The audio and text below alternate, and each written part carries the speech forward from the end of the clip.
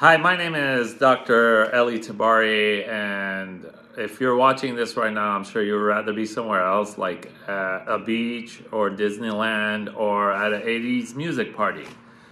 Because today I'm going to talk about third molars, otherwise known as wisdom teeth, and some questions to answer. Uh, first question is why do you need wisdom teeth uh, taken out? Well, Wisdom teeth may cause pain. That's the you know the initial reason uh, to have them out. They may cause other problems like damage to the adjacent teeth. They may cause gum inflammation or gum infection. Uh, rarely they're associated with benign cysts and benign tumors. And sometimes your orthodontist, if you want to get braces or Invisalign, they need room they need your front teeth that are crowding to move back, so they want these wisdom teeth out so they have that room. So, those are some of the reasons to think about taking uh, wisdom teeth out. Other questions that uh, patients ask me is, uh, you know, so and so has only two wisdom teeth, or three wisdom teeth, or no wisdom teeth. Well, the thing is, it's a variable number. Most people have four, but some may only have three or two, or even the lucky ones may not have any.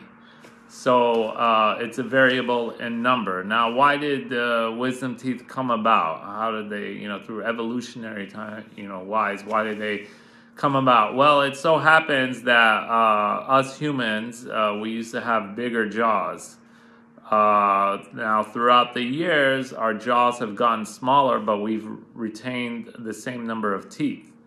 Uh, and goodness for that, because then we'd all look like Quagmire. Giggity giggity. But uh, the problem with having smaller jaws but the same number of teeth is that these these uh, late development teeth, which are your third molars, could come out in weird arrangements and morphology, and that's how they can cause problems. So that is the reason why sometimes they look different or they act different than uh, other uh, teeth. And also, these are the most uh, late forming teeth, and they usually come out uh, in your teenage years, and they are called so-called wisdom teeth because they usually start to erupt when you're older in age and kind of in your mid to late teens, and where you have a little bit more knowledge. Uh, that's why they're called wisdom teeth. Um, now, the other questions is Are there risks to taking these teeth out? Uh, you know, everything in life has risks, and uh, there are some risks, and that depends on how what we term impacted the teeth are, uh, meaning how embedded the teeth are in bone, or how uh, how unlike they look like they've erupted like normal teeth. Um, so depending on that, it depends how much risk there is. But usually, uh, you have to think of wisdom teeth as uh, hard tissue that you're taking out of another hard tissue that it's embedded in, the bone. So there's going to be possibly some pain, bleeding, swelling, minor risk of infection from the procedure itself. Uh, two major anatomic uh, landmarks that can cause uh, some comorbidities are the inf- the inferior alveolar nerve. Now, this is a nerve that runs in your lower jawbone and it's embedded in a canal. And if this nerve gets damaged when we take out the third molars, as it is a risk factor, you might have a numb lip uh, on, on the lower side, on that side that it got damaged. Okay?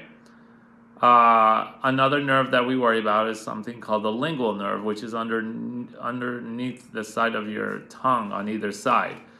Uh, this is a little uh, less risky, less common injury, but if that gets damaged, some parts of your tongue and sensory information to your tongue will get damaged.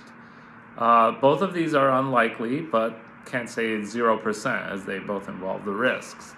Uh, other uh, aspects to think about is that people, patients ask me, well, I have a droopy lip. No, that's a different nerve. You will not have a droopy lip. That's a nerve that runs in, you know, on your neck that is far, far away from where we're doing uh, the, this uh, procedure. Uh, so, those are some of the risks of third molar. Another question is uh, do every third molar needs to be uh, extracted? And uh, the answer to that is certainly not. On some third molars actually come out and they behave like normal teeth, and they help you chew and eat your food. Uh, and some sometimes they don't need to be uh, extracted, uh, taken out.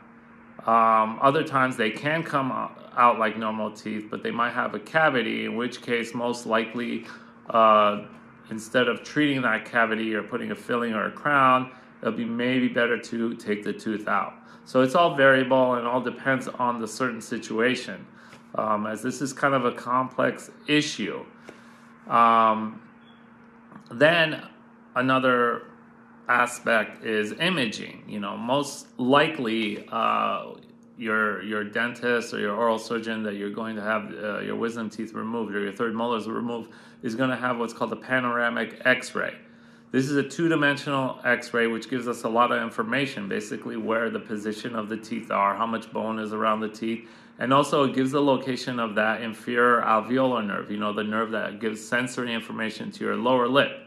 So the dentist could make certain decisions on whether how risky it is. However, in certain other times where the panoramic X-ray uh, shows that there's a high risk, the dentist might might also want to have something called a cone beam CT. And what that does, it's actually a CAT scan and it takes pictures in slices and shows a third dimension of that area.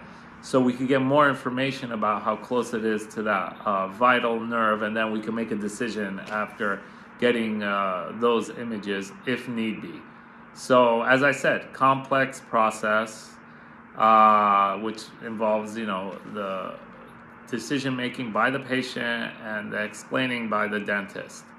Uh, another factor that I won't dive into because it's a whole set of, you know, a whole set of circumstances on itself is that if you're anxious about having your wisdom teeth taken out, there's a couple ways we could do them. One way, which is you know the most uh, common way, is we just numb the area, like how you would go to a dental office to get a filling or a crown. You numb the area and you take the teeth out.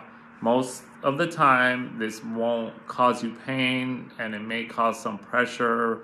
You might feel a feeling of pulling, pushing. You might hear some noises, popping, cracking. You also hear a drill.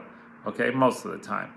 However, if the patient is anxious, you have other options of sedation, which essentially means uh, giving you uh, sedation, pretty much putting you, what we term as putting you to sleep to make the procedure more comfortable. So, all these factors should be discussed with your dentist uh, for your informed discussion about having your third molars removed.